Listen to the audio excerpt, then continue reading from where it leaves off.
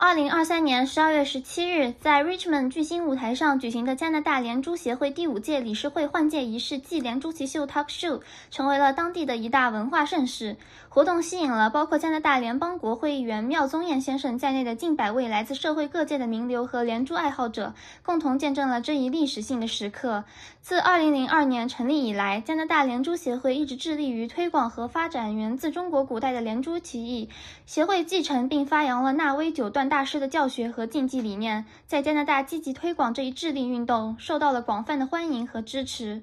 活动由曹思思和 Mark Win 这对专业主持人领衔。他们的风趣与专业为活动增添了不少色彩。仪式上，纳威老师亲自为新一届理事会成员颁发聘书，象征着协会的持续发展和新一阶段的开始。此外，还介绍了协会的核心团队成员，包括纳威老师、中国竞技五子棋之父、国际连珠联盟中国部九段、加拿大连珠协会终身荣誉主席周元协会主席、Katie 徐执行主席、Coco 刘副会长兼秘书长。Queena 张副会长，Harry 黄副会长，以及 Alin Para Hovas、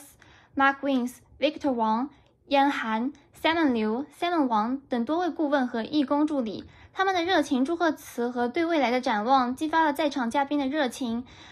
值得一提的是，Mark Wins 作为非华裔顾问，其参与不仅体现了连珠运动的跨文化魅力，也为中加五子棋文化交流做出了重要贡献。那位老师的连珠奇秀 Talk Show 特别受女性观众欢迎，他生动易懂的教学方式引发了观众对五子棋的浓厚兴趣。抽奖环节是活动的另一大亮点，包括纳威老师签名的二十六本场刊，价值四百加元的五支红酒，价值八百加元的五盒百奥莱保健品，以及两百加元现金大奖，为活动增添了不少乐趣，并向参与者表达了协会的深切感谢。此次活动在愉悦和热烈的气氛中圆满结束，不仅为推广连珠运动做出了显著贡献，也给在场的每一位嘉宾留下了难忘的回忆。